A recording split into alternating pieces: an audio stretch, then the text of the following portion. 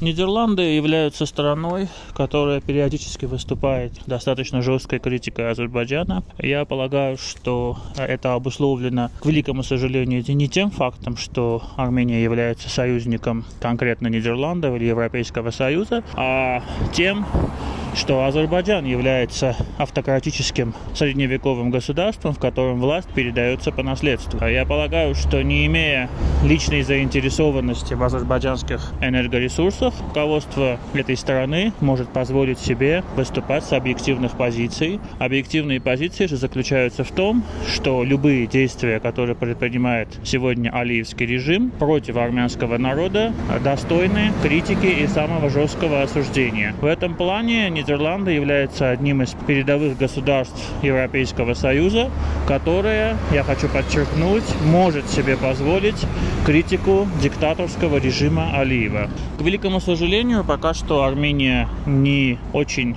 скажем так, сильно воспользовалась этим преимуществом, и до сегодня у нас э, нет особо развитых отношений с этой страной.